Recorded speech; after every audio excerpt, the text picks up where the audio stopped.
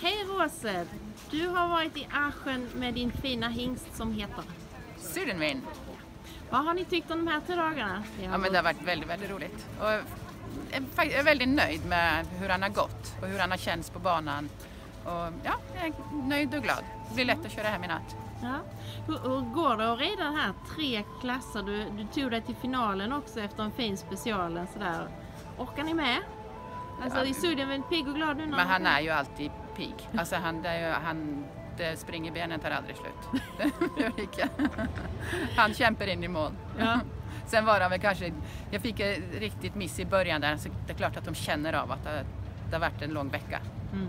Det är en vecka borta Mm. och det går för fullt hela tiden. Men som helhet har Aschen varit en, en bra Ja det tycker jag, väldigt bra. Väldigt bra.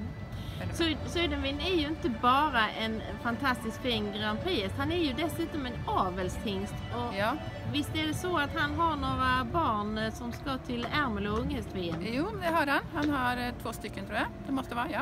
Två Mm. stycken. Så två sexåringen, det ska bli väldigt spännande. Ja, han är en riktigt dubbelarbetande. Ja det är han. han eh, det sista han gör innan vi lastar är att han måste upp på bocken och sen är det att köra hem natt så han får stå till tjänst imorgon. Får du lite vila eller hur är det? Ja, nej, det nej nu, måste man, nu har man varit ledig en hel vecka så nu får man hem och jobba ikapp. Så. Så ni är två dubbelarbetande Ja, absolut. Så, Ja. det ska, Stort grattis till eh, insatserna i helgen Rosa. Vad ja, fint tack ska att du se ha. er. Tack.